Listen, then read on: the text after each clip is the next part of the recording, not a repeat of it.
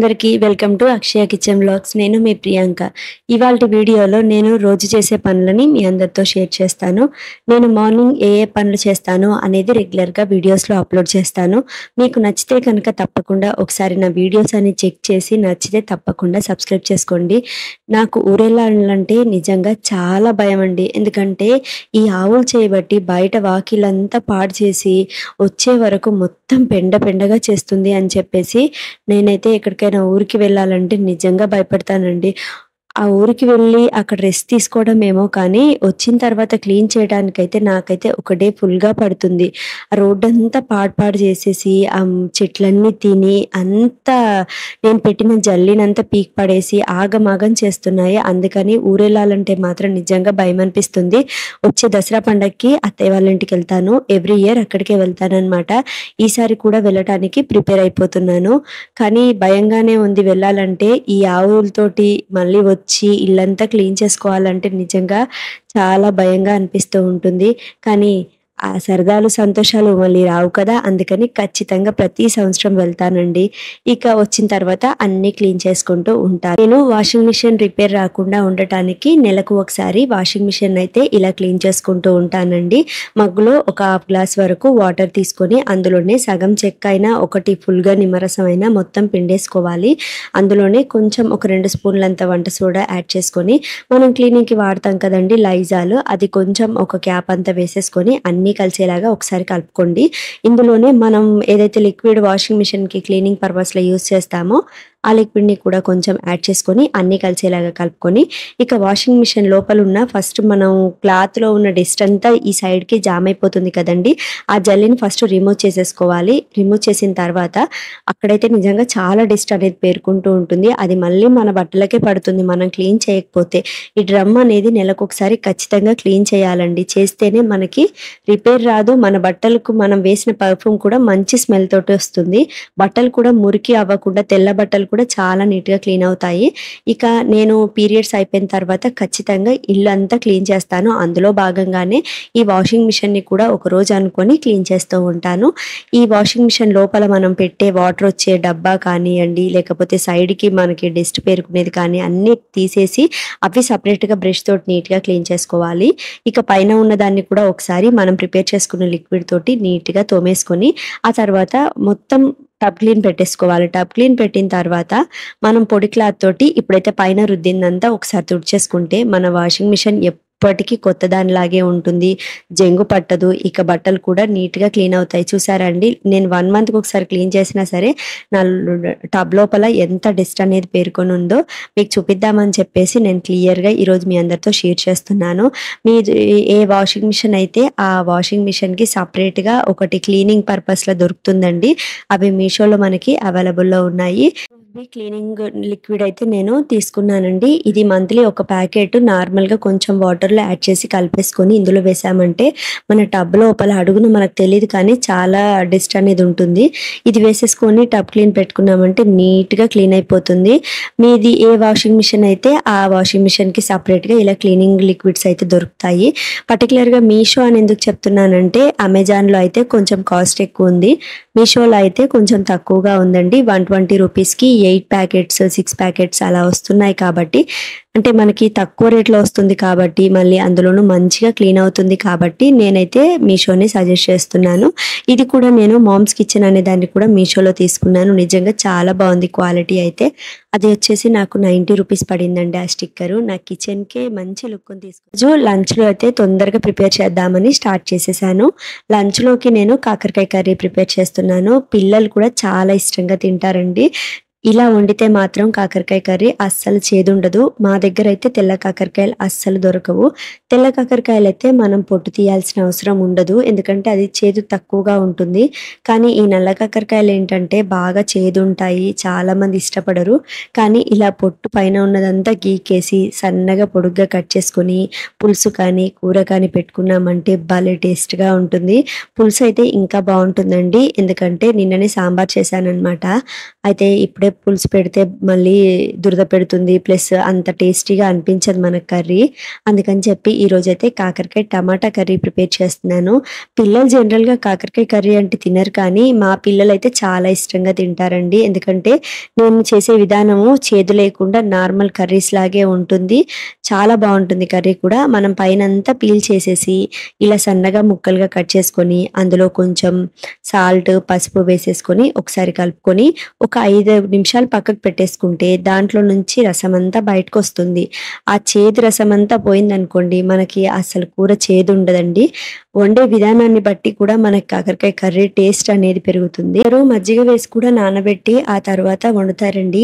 కానీ ఇవైతే చాలా చేదుగా ఉంటాయి. అలా కూడా ట్రై చేశాను కానీ, నా కర్రీ అనేది చేదు చేదు అయిపోయి కొన్నిసార్లు పడేసానండి స్టార్టింగ్‌లో తెలియక.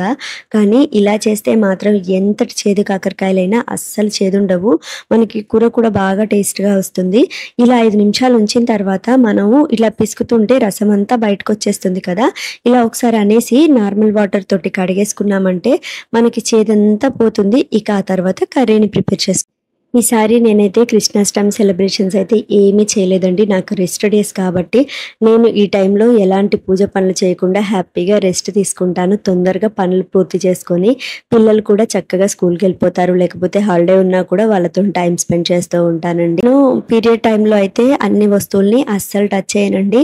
మెయిన్ మెయిన్‌గా నాకు ఏం వస్తువులు కావాలో వాటిని మాత్రమే టచ్ చేస్తాను. బీర్వాన్ మాత్రం అస్సలు టచ్ చేయనండి.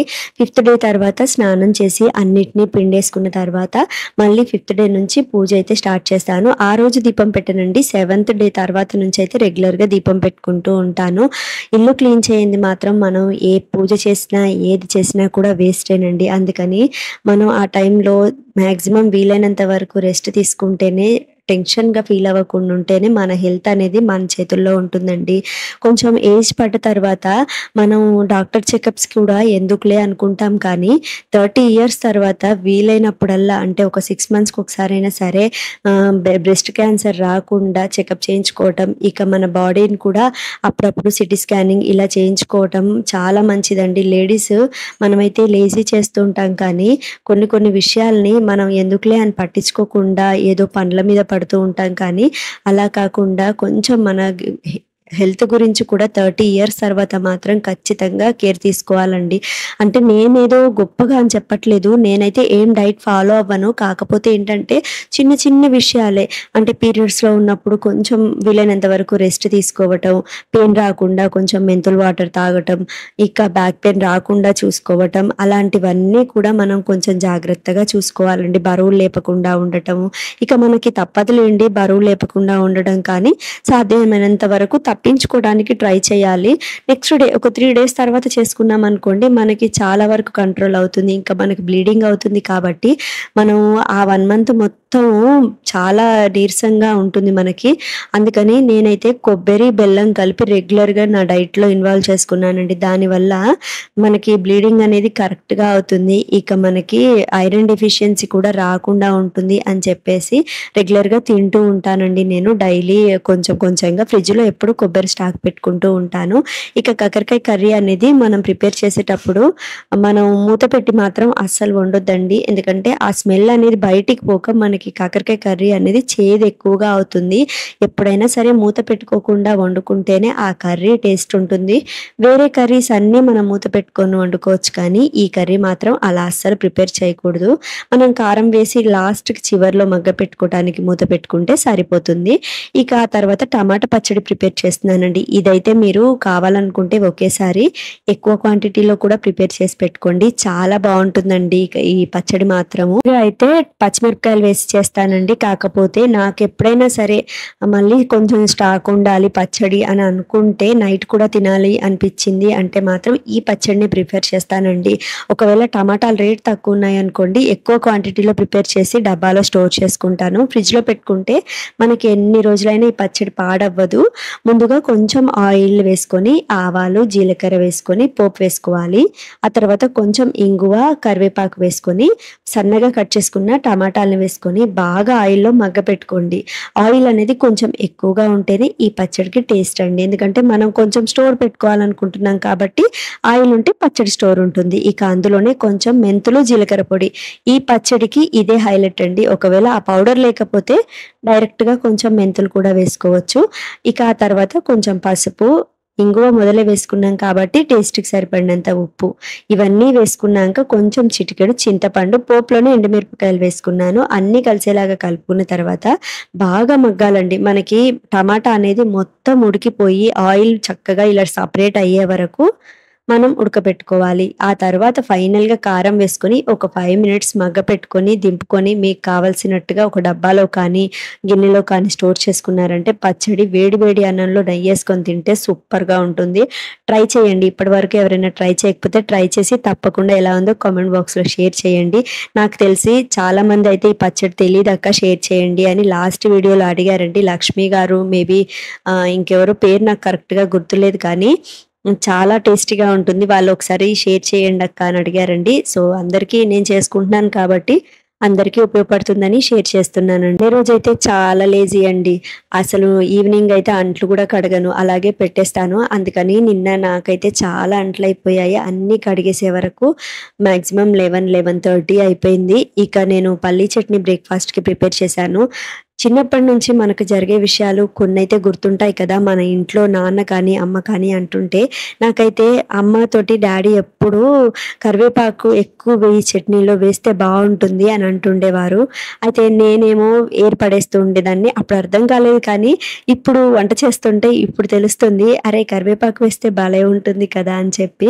ఇక నాకు అది గుర్తొచ్చి అప్పటి నుంచి వేరేసినా సరే కొంచెం ఎక్కువగా కరివేపాకు వేస్తున్నాను. కలర్ఫుల్గా బాగుంటుంది అని చెప్పేసి ఈ మెమొరీ అయితే నేనైతే ఎప్పటికీ మర్చిపోలేనండి చిన్నప్పటిది.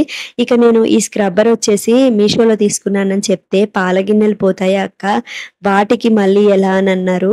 కానీ పాల గిన్నెలు కానీ ప్లేట్స్ అయినా పెద్ద పెద్ద గిన్నెలైనా అసలు ఎంత స్పీడ్గా తోమేసుకోవచ్చు అంటే మనకి సోప్ కూడా పెద్ద ఎక్కువగా పట్టదండి. ఎందుకంటే ఆల్రెడీ దానికే ఉంటుంది కాబట్టి చక్కగా మనం తోమేసుకోవచ్చు. పాల గిన్నెలు కూడా చాలా నీట్గా క్లీన్ అవుతున్నాయి.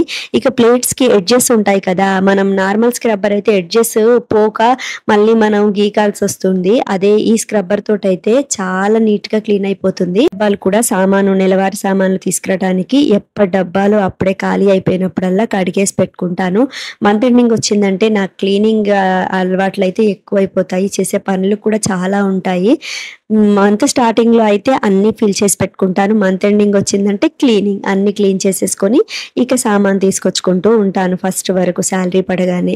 ఇక బ్రేక్ఫాస్ట్లోకి వచ్చి దోశ ప్రిపేర్ చేస్తున్నానని చెప్పాను కదా ఇక అన్ని పనులు అయిపోయిన తర్వాత పిల్లలకి టకటక దోశలు ప్రిపేర్ చేసి ఇచ్చేసాను. వీకెండ్లో ఎంత తొందరగా వీలైతే అంత తొందరగా పనులన్నీ పూర్తి చేసుకొని హ్యాపీగా మధ్యాహ్నం ఏదైనా మూవీ పెట్టుకొని ఎంజాయ్ చేస్తూ ఇలా సాయంత్రం కాగానే పిల్లల్ని గ్రౌండ్కి తీసుకెళ్ళి సరదాగా కాసేపు ఆడించుకొని ఇంటికి అయితే తీసుకొస్తూ ఉంటామండి. కానీ ఇంట్లో మాత్రం ఈవినింగ్ టైంలో అస్సలు ఉండం వీకెండ్స్లో ఎటో ఒకటి కొంచెం పిల్లలకి టైం స్పెండ్ చేయడానికి మేమైతే డెడికేట్ చేస్తూ ఉంటాము. ఇదండి ఇవాళ వీడియో. ఈ వీడియో మీకు ఎలా అనిపించిందో తప్పకుండా కామెంట్ బాక్స్లో నాతోటి షేర్ చేసుకోండి. మళ్ళీ నెక్స్ట్ వీడియోలో మీ అందరితో కలుస్తాను. Thanks for watching.